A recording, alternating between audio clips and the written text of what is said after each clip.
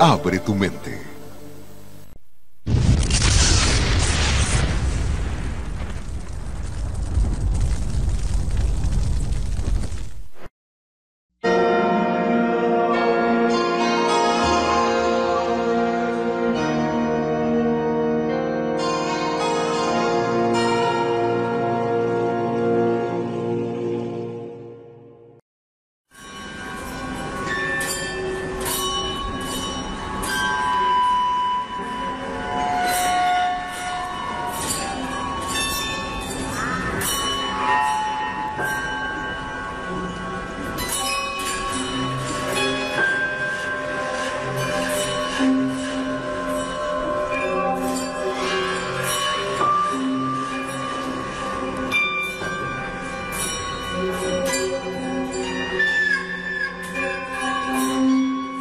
En la década de 1970, una visitante atravesaba un remoto paso en el norte de la India.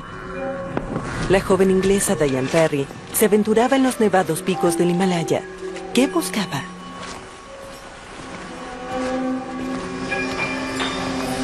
Desde temprana edad creí que éramos intrínsecamente perfectos y que debíamos regresar una y otra vez para lograr esas perfecciones internas. Y mis dos grandes preguntas fueron, ¿qué es la perfección? ¿Y cómo la logramos? Pregunté a mucha gente, maestros, sacerdotes y a todos los que podían saber. Todos decían, debe ser buena, o debes ser buena, ser amable. Y sentí, sí, claro que debe ser bueno y amable, pero no es todo. Porque conozco mucha gente buena y amable, pero no es perfecta. La perfección está más allá. Eso es solo el cimiento. La búsqueda de la perfección de Diane Perry la llevó hacia el budismo tibetano. Bajo el nombre de Tenzin Palmo se aisló en una cueva a 4.200 metros por sobre el nivel del mar. Con la única compañía de lobos y leopardos de las nieves, se embarcó en un periodo de 12 años de intensiva meditación budista. Ocho meses al año, durante los duros inviernos, la cueva quedaba completamente aislada del resto del mundo.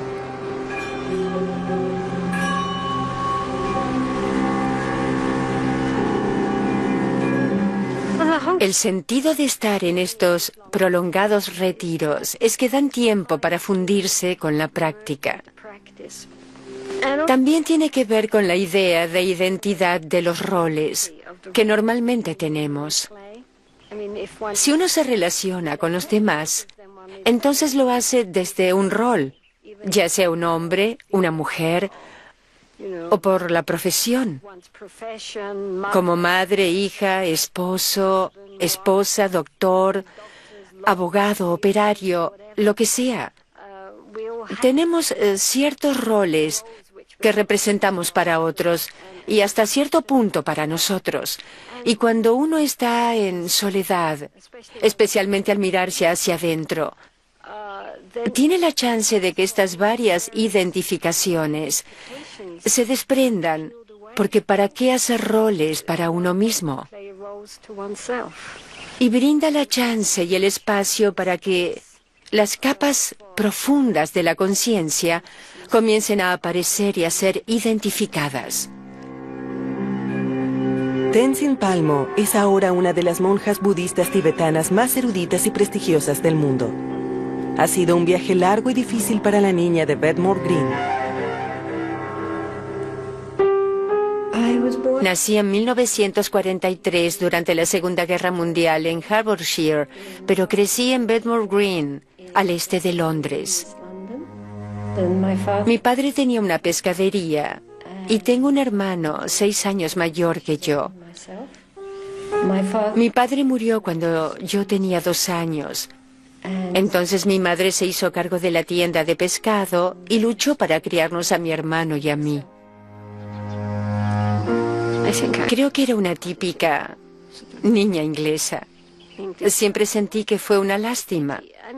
Es decir, pertenecer a una especie de iglesia anglosajona, inglesa, en medio de Londres en esos días era casi como no ser nada. Y envidiaba a mis amigos judíos, quienes tenían un fuerte sentido de identidad, eh, identidad cultural, lo cual creo que el común de las personas crecidas en Londres no tenía. No sentía una gran conexión con Jesús. No creía que Jesús pudiera salvarnos, salvarnos de la guerra. Solo nosotros podemos salvarnos. Dios está dentro, no es alguien sentado en el cielo y que mueva las cuerdas. Uno debe redescubrir su interior, la chispa de lo divino. Así que durante mi adolescencia investigué varias religiones, intentando hallar algún sendero claro para recuperar nuestra verdadera naturaleza. A los 18 años leí un libro sobre budismo y de inmediato reconocí que eso era lo que siempre había querido, aunque no había caído en la cuenta de que había una religión que lo había expresado tan bien y claramente, mucho mejor que lo formulado por mí misma. Y gradualmente me interesé en el budismo tibetano. Y a los 20 años partí hacia India para buscar un maestro.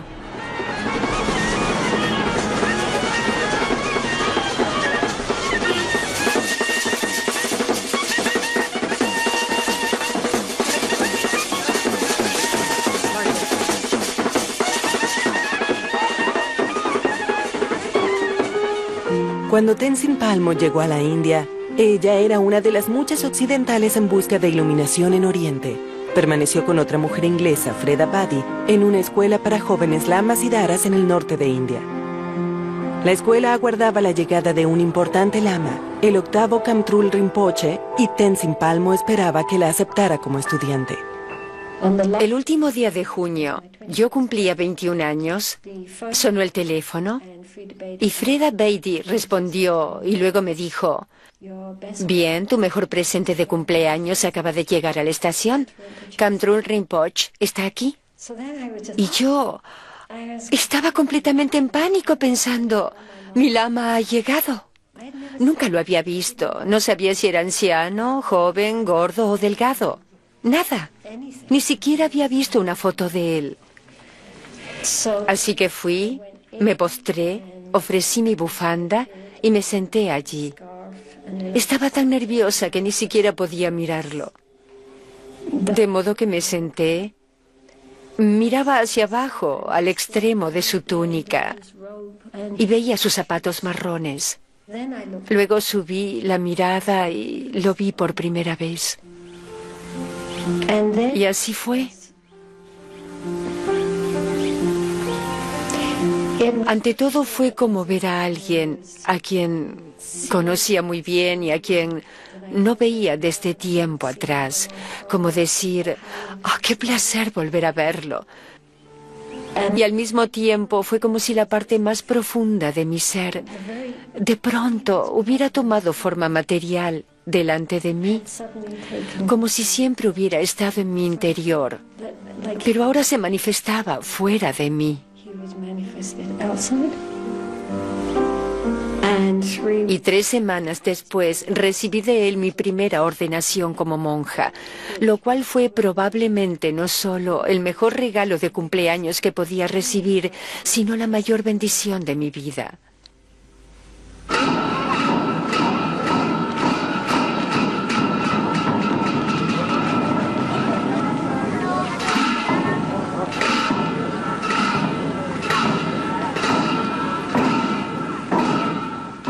Rinpoche me dijo que en vidas anteriores me había mantenido muy cerca suyo, pero que ahora con forma de mujer era más difícil.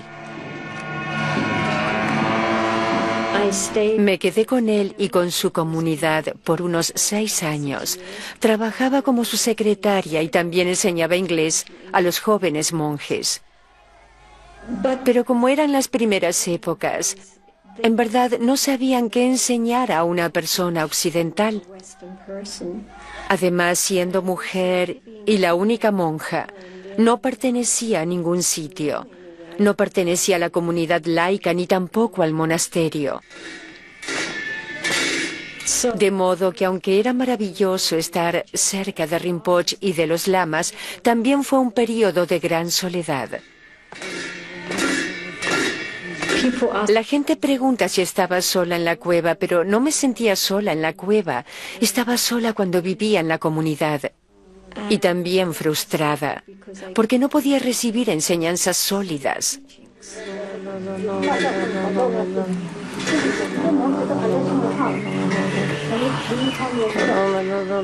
Era imposible luchar contra el prejuicio en un monasterio. No había forma. No solo por ser occidental, sino por ser mujer. Lo veía cuando llegaban hombres occidentales, cómo los trataban y cuántas enseñanzas recibían aunque no fueran budistas. ¿Qué decir de los monjes? Tanto a los estudiosos como a cualquiera que llegara. Los lamas automáticamente, sin cuestionar nada, les daban todas las enseñanzas. Tanto tiempo, tanta atención, solo porque eran hombres.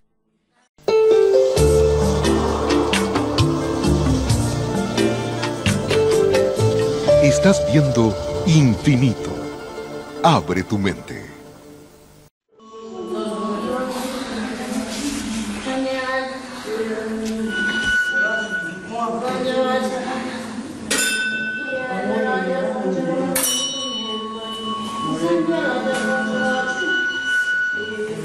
Finalmente, luego de varios años en el monasterio, Tenzin Palmo logró suficientes enseñanzas como para extender su retiro. Por consejo de su lama, Kamtrul Rinpoche, comenzó a buscar un lugar adecuado. Finalmente, fui a esta especie de cueva en la montaña, a una hora de Toyugumpa. Así un día, un grupo de nosotros, monjes y monjas, subimos la montaña para verla. Y así cuando la vi, pensé que sería un sitio ideal para quedarme. Así que construimos, hicimos una pared, instalamos puertas y ventanas, la recubrimos de lodo por fuera y por dentro, y luego me instalé.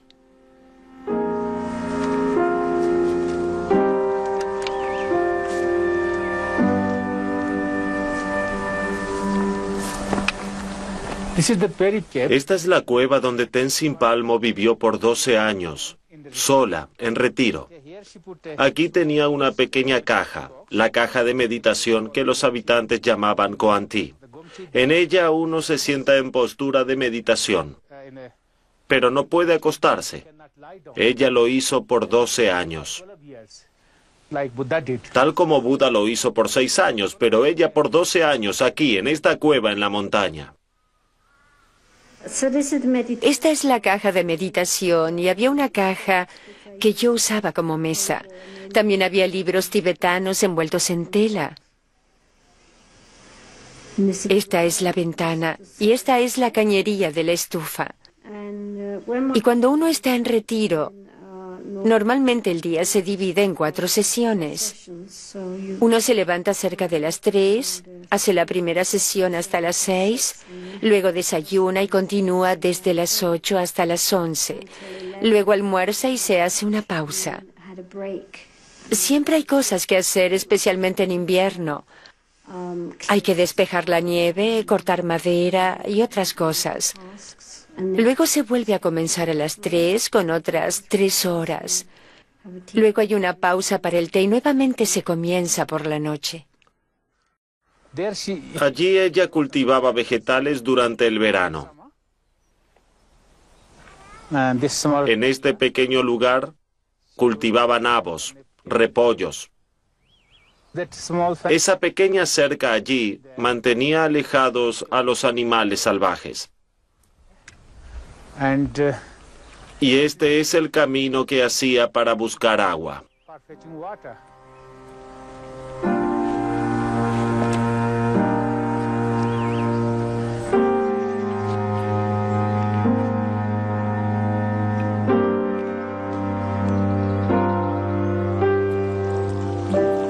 Cada año regresaba a Tashiyung para ver a Kantrul Rinpoche y hacer controles con él. Cuando estaba alejada, entonces si tenía ideas, escribía preguntas. Escribía diferentes tipos de preguntas. Así tenía páginas de preguntas. Cuando iba a verlo se recostaba y decía, bien, ¿dónde está tu lista? Y yo le hacía todas las preguntas. Sus respuestas eran siempre tan perfectas, porque decía, bien, según esta tradición dicen esto, según tal tradición dicen aquello. En este libro dice esto o aquello, en este nivel es así, en este otro es así. Pero creo, es solo mi opinión. Creo, y era exactamente así, era así realmente. Era un Buda.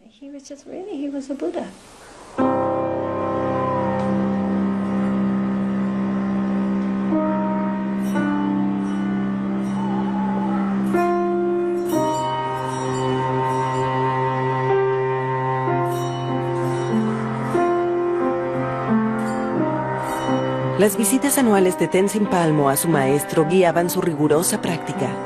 Estudiaba textos clásicos tibetanos, los cuales describían complejas técnicas de visualización. Según las supremas tradiciones estéticas, dormía apenas tres horas por noche sentada en una postura de meditación.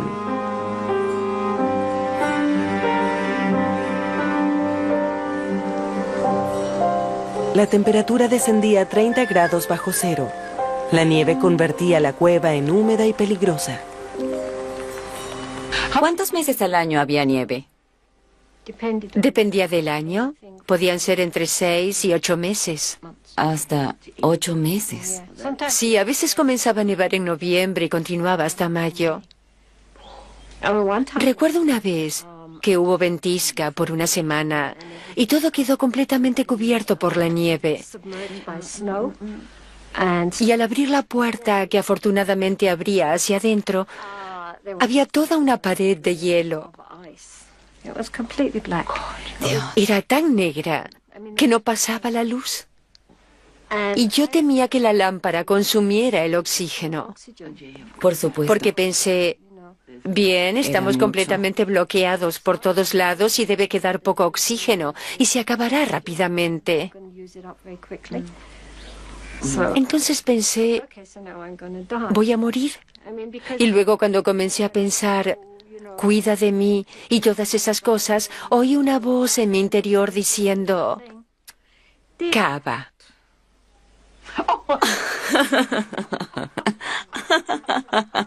y dije, de acuerdo, Rinpoche.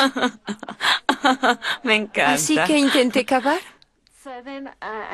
Pero como había una pared, tenía que llevar la nieve dentro de la cueva.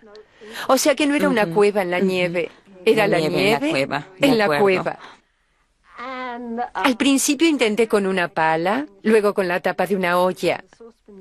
Luego, mientras intentaba que el túnel fuera hacia arriba, lo hacía con las manos, estaba oscuro y frío.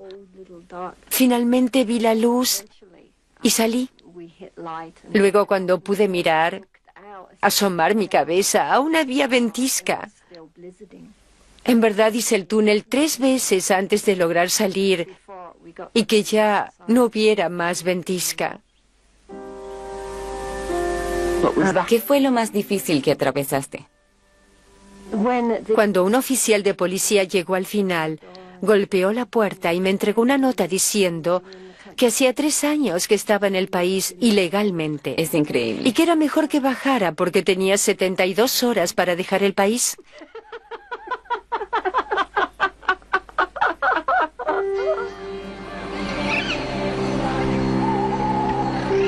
Aún los eremitas están sujetos a trámites burocráticos y Tenzin Palmo se vio obligada a abandonar sus amadas montañas. Decidió viajar a Italia. Pasarían algunos años antes de que regresara a India. Habiendo planeado pasar su vida en retiro, Tenzin Palmo ahora se preguntaba qué dirección tomar. Sus frustraciones anteriores como mujer practicante influenciarían en su elección. Cuando viví en la Hul, vi con claridad cómo aún las monjas más jóvenes eran tan inteligentes, brillantes y devotas, y no tenían oportunidad de educarse, de estudiar o de realizar mayores prácticas. Y esto es así en todas las regiones limítrofes. Mientras los monjes tienen oportunidades de estudiar y practicar, eso se le niega a las monjas. Y la mayoría termina siendo mucamas domésticas o servidoras de los monjes. Hay tantas monjas a la deriva que no tienen convento, especialmente monjas provenientes de Tíbet, porque allí las monjas están en la vanguardia del movimiento por la libertad y son especialmente rechazadas por los comunistas. Muchas de ellas han intentado venir a India. Algunas han tenido éxito, algunas no. Muchas son capturadas en las fronteras, violadas y devueltas, entregadas a los chinos para enviarlas a prisión. Muchas monjas que están aquí fueron encarceladas, interrogadas y demás. Por eso interiormente están traumatizadas, pero son valientes. ¡Dejen de matar! ¡Dejen libertad en el Tíbet! ¡Dejen libertad en el Tíbet! ¡Libertad en el Tíbet! ¡Libertad en el Tíbet! ¡Libertad en el Tíbet! ¡Libertad!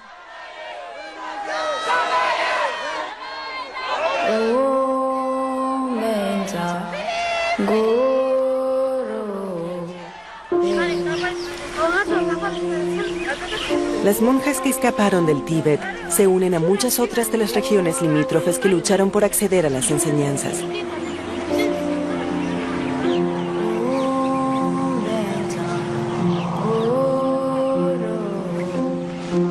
La falta de oportunidades para las mujeres llevó a Tenzin Palmo a considerar la posibilidad de abrir un convento para monjas.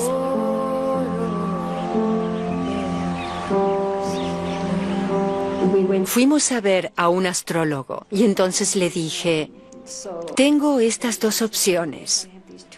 Puedo emprender un retiro o abrir un convento. ¿Qué debo hacer?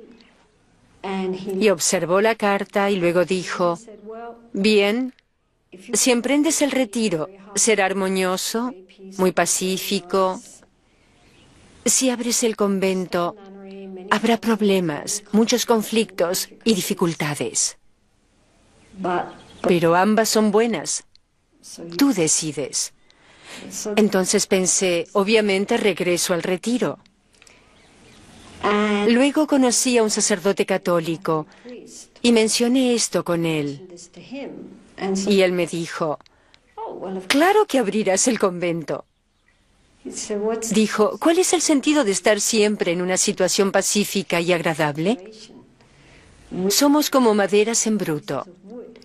Si siempre nos cubrimos con seda y terciopelo, es bonito, pero eso no nos suaviza. Para hacerlo lo que necesitamos es lija. De modo que el convento es mi lija.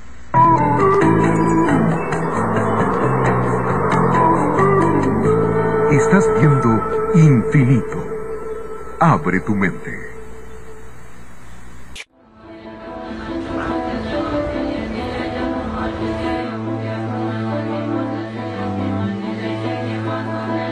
Una vez tomada su decisión, Tenzin Palmo se embarcó en un agotador programa internacional de conferencias para recaudar fondos para el proyecto.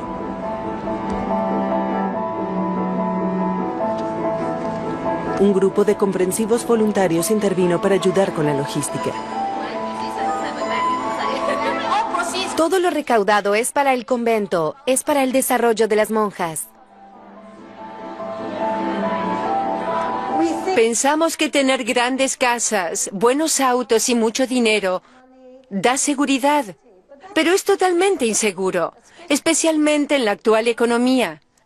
Pensamos que tener familia, relaciones e hijos da seguridad, pero no lo hace porque la gente se va, la gente muere.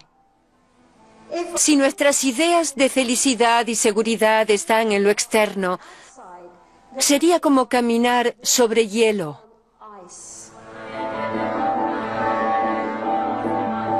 Las charlas de Tenzin Palmo y la historia de su notable viaje para convertirse en monja budista atrapó la imaginación de gente de todo el mundo. Se convirtió en un ícono budista y en celebridad internacional.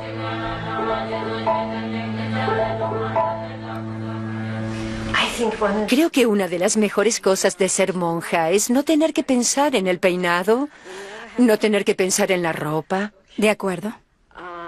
No debo levantarme por la mañana, abrir mi armario, mirar toda mi ropa y decidir qué debo usar. Uso lo que tenga limpio. No me importa la moda. Así es. No debes ocuparte de nada, ni pensar en qué color se usa o no este año. Usamos el mismo color año tras año. Una de las primeras en reconocer la naturaleza inspiradora de la historia de Tenzin Palmo fue la periodista Vicky Mackenzie. Su libro, Una cueva en la nieve, fue traducido a nueve idiomas. Rápidamente aumentó la renuente fama de Tenzin Palmo. Muchas gracias, hasta pronto. Hasta pronto. Adiós. No tengo anteojos. Escribo a ciegas y espero que me haya salido como una firma. ¿Desea una remera con frases de Tenzin Palmo? Todos los fondos son para el convento. ¿Quiere verla? Tenemos varios tamaños. Gracias. Nos da una gran inspiración con su coraje. Gracias.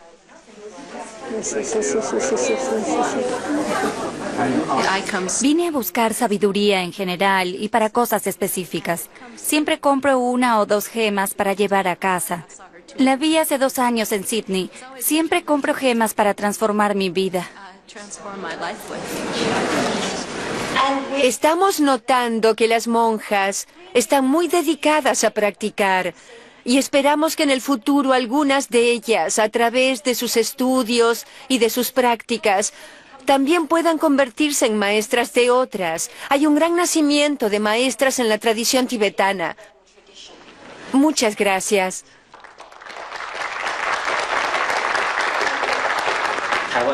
Taiwán tiene una situación particular. Hay cerca del triple de monjas que de monjes. Así que habrá más cantidad de monjas en esta conferencia que de monjes. Por eso aquí resaltamos la igualdad entre monjes y monjas con respecto a la actividad y estatus de la tarea.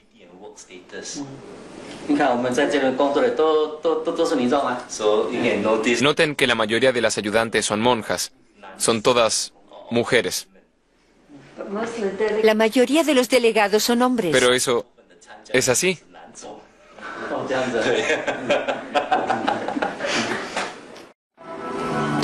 Es básicamente un club masculino, con mujeres que hacen todo el trabajo. Hay jóvenes chinas que se esfuerzan trabajando para todos, pero los grandes son hombres.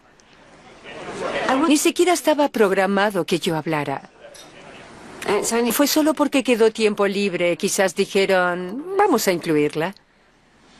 Pero por derecho, mi ingreso hubiera sido nulo.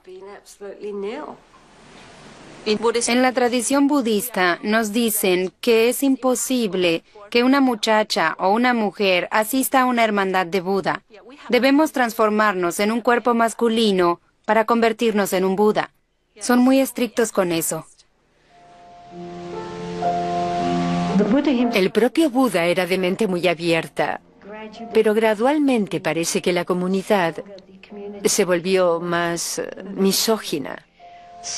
De modo que la meditación tradicional era buscar un monje o una monja y proceder a meditar sobre el cuerpo, desde la punta de la cabeza hasta la planta de los pies, como si uno se desprendiera de la piel y observara dentro lo que tradicionalmente fueron las 32 partes del cuerpo, el cerebro, los pulmones, el corazón, el vaso, los intestinos, ver todo tal cual es como para crear este sentido de desencanto hacia el cuerpo. Siglos más tarde, los textos de, por ejemplo, Nagarjuna o Shantideva, grandes expertos de India, hablan de ver a una mujer delante de uno, quitarle la piel y observar las partes de su cuerpo. o imaginarla como un cadáver y todos los gusanos saliendo de ella. Su cuerpo es sucio, horrible y desagradable. Es un objeto de desprecio. Ya no es el monje. El monje está bien y es puro. Es ella. Y esta actitud que está en los principales textos que los tibetanos estudian, está allí. Las mujeres están sujetas a constantes distracciones mentales. Eso crea una gran negatividad que podría dañar la doctrina. Si las mujeres se vuelven más y más poderosas, entonces los monjes no podrán levantar sus cabezas. En el futuro, si las mujeres tienen más poder, podría suceder. Podemos cambiar.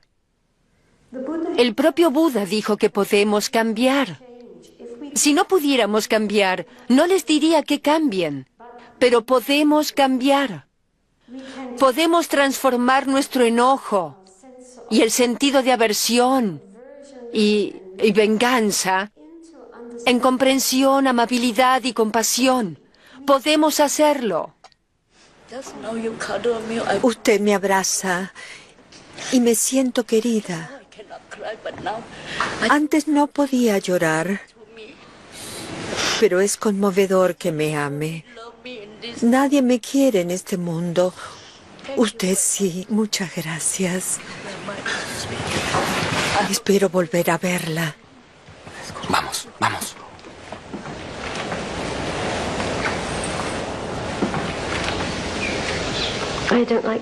No me gusta dar charlas.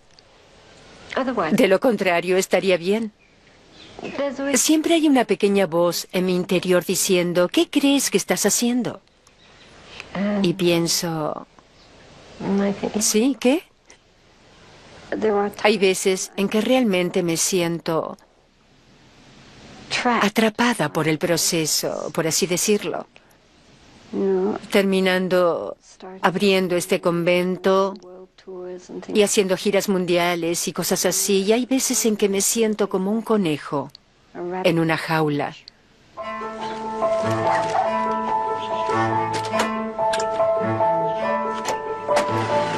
Hola muchachas. Los años de giras han dado sus frutos. Tenzin Palmo y su equipo de voluntarias finalmente han reunido suficiente dinero para comprar el terreno sobre el que construirán el convento. Utilizan un alojamiento improvisado para albergar a las primeras de las muchas postulantes.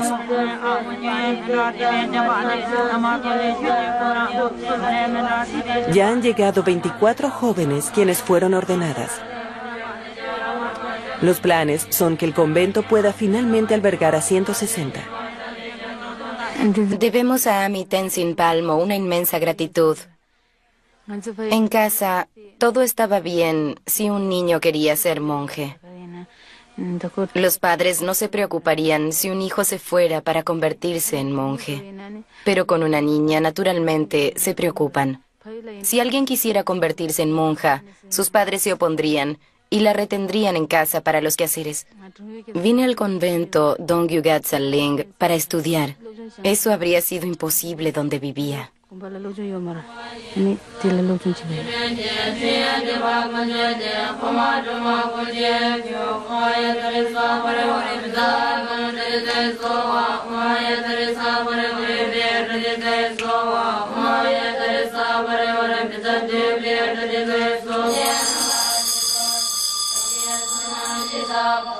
Yes, I'm your young. More than a song, but I want to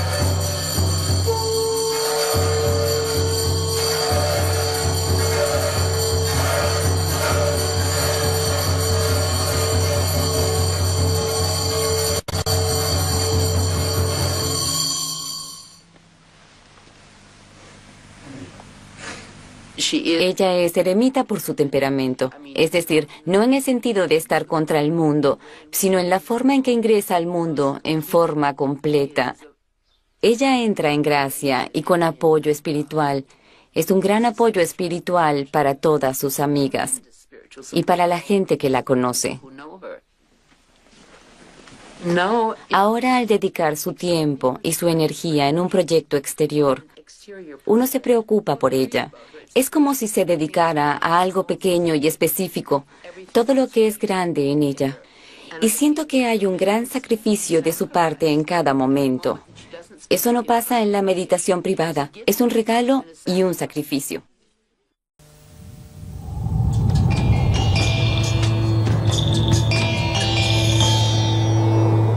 Estás viendo infinito. Abre tu mente.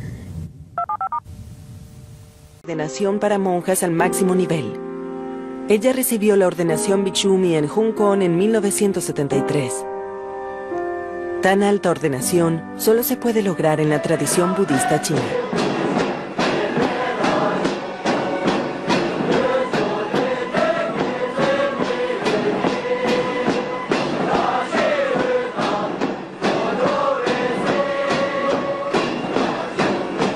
Con la experiencia de otras creencias, existe una firme oposición dentro de las instituciones budistas contra la ordenación de mujeres a alto nivel.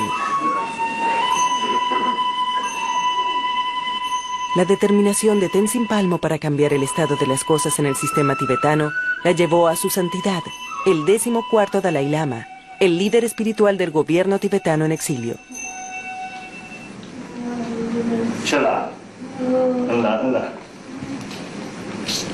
¿Cómo estás? Estoy muy bien. ¿Cómo está usted? Bien. ¿De veras? Totalmente recuperado, sin problemas. Quizás viva hasta los 108 o hasta los 120. Por favor.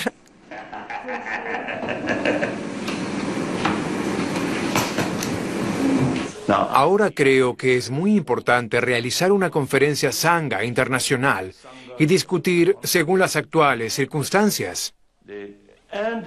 Claro que el Buda tiene permitido, puede dar la ordenación, la ordenación suprema para monjas. Ahora, por lo tanto, debemos hacer un esfuerzo para reintroducir en esas comunidades budistas que no tienen hasta ahora tradiciones bhikshuni. Esta es mi tarea no lograda aún. Su Santidad, con el debido respeto, desde que fui ordenada Bhikshuni en el 73, ahora casi estamos en 2003. ¿Qué progreso hemos hecho? Aún estamos hablando de esto. Su Santidad, no lograremos que alguien esté de acuerdo en algo. Siempre habrá objeciones. Y nunca sucederá. Debemos hacerlo. No soy Vajadara. No soy Buda. Si fuera Buda, si fuera Vajadara, entonces tendría la autoridad final para hacer nuevas tradiciones. Pero no es el caso. Siempre me describo como un simple monje budista que sigue las enseñanzas de Buda. Especialmente según las enseñanzas de Nagarjuna. Entonces... Nagarjuna se oponía a las mujeres. Usted lo sabe. ¿Qué dijo? Ah, sí. Y Shanditeva también. Y honestamente, Su Santidad, quien no es mujer, no puede imaginar cuánto una ha sufrido esta proyección en sí misma y en otras mujeres. Sí, creo que Que una es impura, mientras que somos monjas inmaculadas, no somos impuras. Es verdad, es verdad. Es verdad, las desalientan. En muchas ocasiones tuve claras discusiones o sugerencias, pero aún algunas cosas son difíciles de cambiar. Lo sé. Los budistas siempre hablan de transitoriedad y cambio, pero como todos los demás, no quieren cambiar en nada. Bien, creo que lo mejor, creo que algo positivo, creo que la forma de enfocar este problema o tema es como nosotros, es decir, con tu trabajo. Así es. Finalmente, creo que el gran efecto llegará. Llegará. Llegará su santidad. Llegará. Muy bien. Recuérdelo, por favor. Y esperamos que cuando nuestro convento esté listo, lo estamos construyendo, que por favor Desde venga y ya, lo bendiga. desde ya. Sería lo más maravilloso que pudiera sucedernos.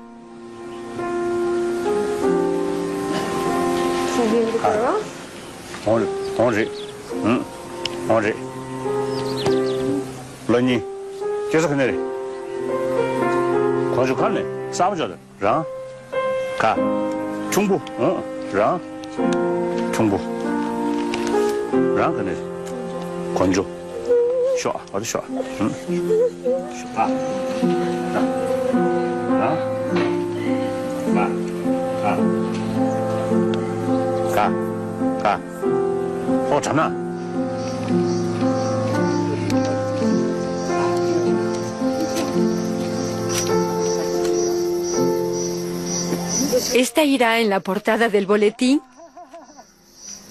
¡Sonrían! Gracias.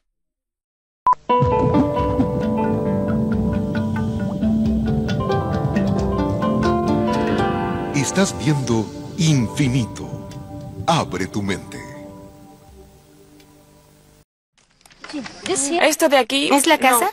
No. Esto será la oficina. Aquí estará la oficina. Sí.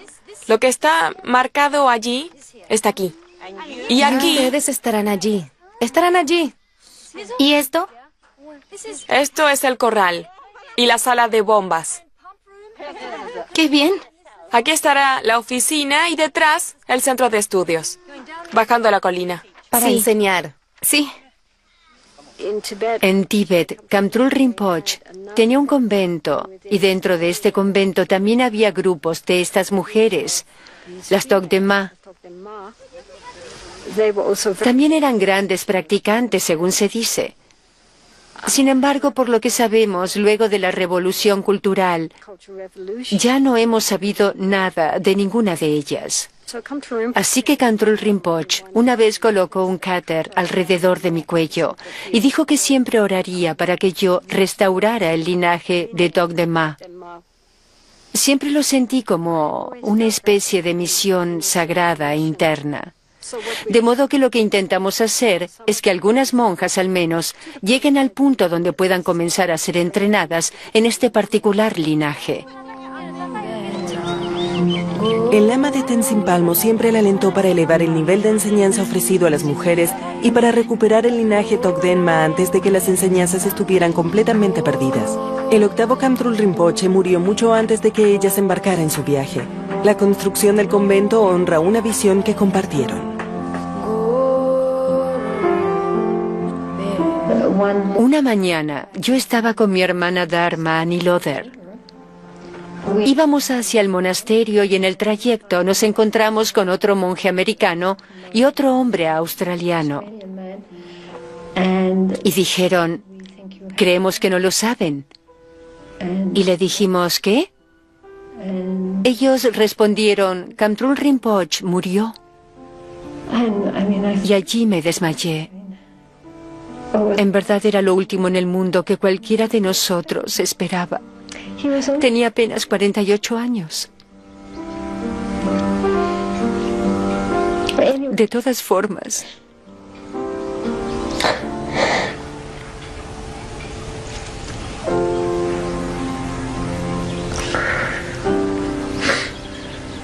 yo no sé qué decir. Sentí que estaba en un gran desierto y que de pronto mi guía se había ido y no sabía a dónde ir. Después, Annie Loder y yo nos sentamos y meditamos juntas. Allí me di cuenta de que en verdad el lama está siempre en el corazón. El lama no es solo la forma externa. Pero debo decir que extraño a Rinpoche. En la tradición budista la muerte no es el fin. Los lamas superiores renacen y son reconocidos como reencarnaciones. Se cree que el maestro de Tenzin Palmo se ha reencarnado como el noveno Kamtrul Rinpoche.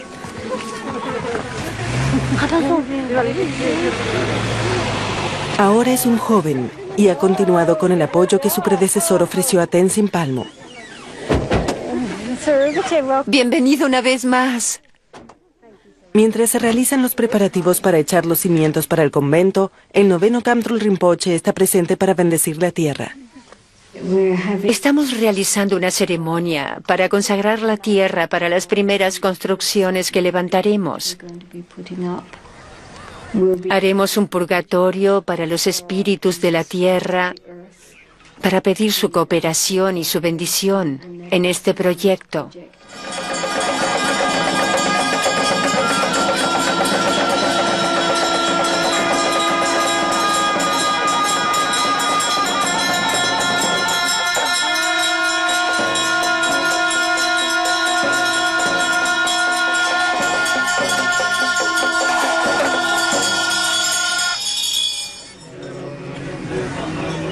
Es una triste reflexión que la religión y el pasado espiritual, que deberían ser algo que nos abriera a todos a nuestro verdadero potencial humano para la sabiduría y la compasión, con frecuencia hayan sido el vehículo que obra más hacia el prejuicio y la supresión.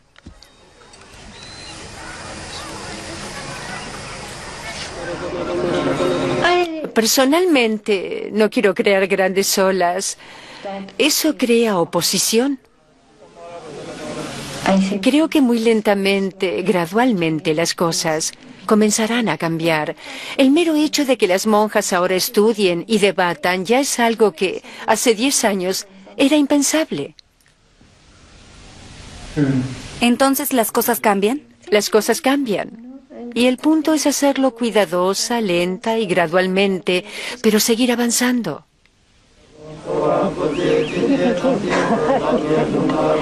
Gracias, Rinpoche. Por favor, bendiga siempre este convento. Estamos en casa, de modo que debemos hacer cosas.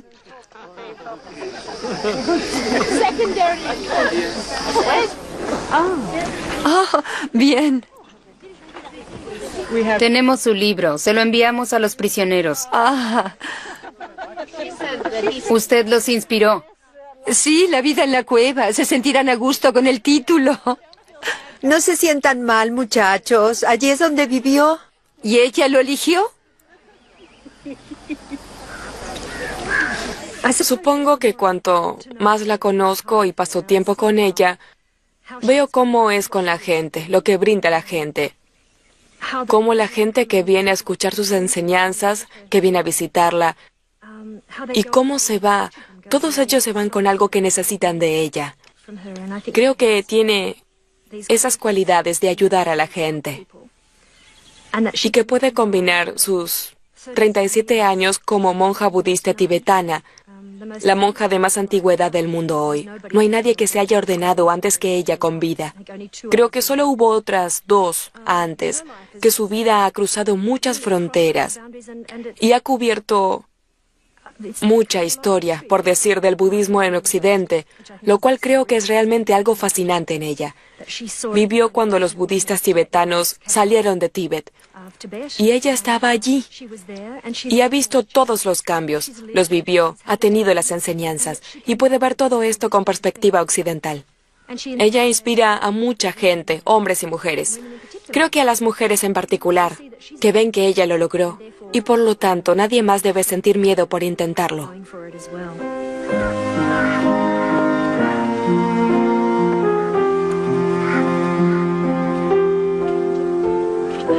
Vivir en una cueva es muy diferente a vivir en una casa.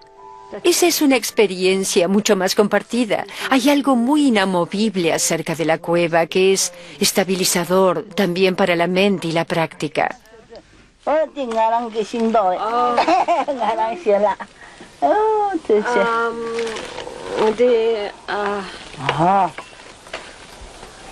¿Cómo compara esto con su cueva? Al igual que mi cueva, el techo de roca está negro por el humo. Y tiene paredes de barro, como mi cueva. Esto es algo más pequeño porque ella tiene la cocina separada. En la mía la cocina y la sala estaban juntas. Pero en muchos aspectos es muy similar. ¿Cómo se siente al estar sentada otra vez en una caja de meditación en una cueva? Creo que el mejor lugar del mundo es estar sentado en una caja de meditación en una cueva. No podría pensar en un sitio mejor.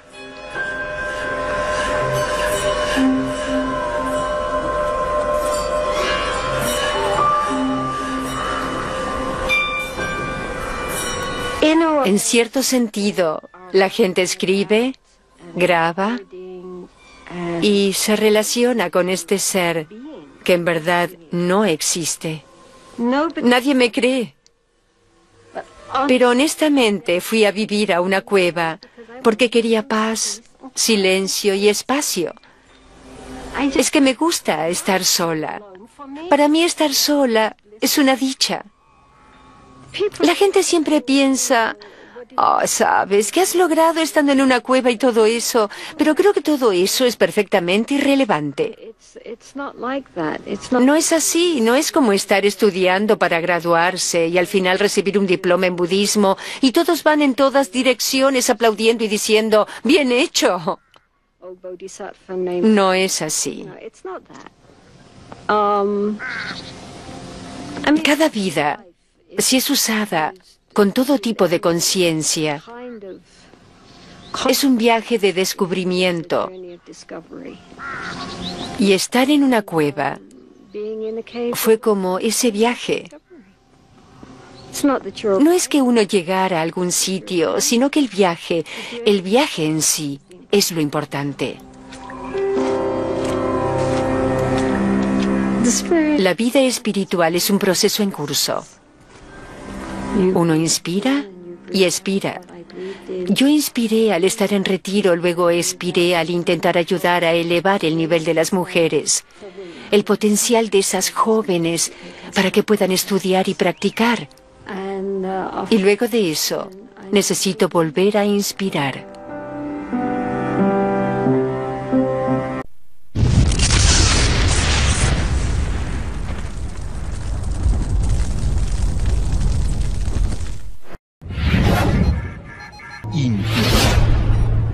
Abre tu mente.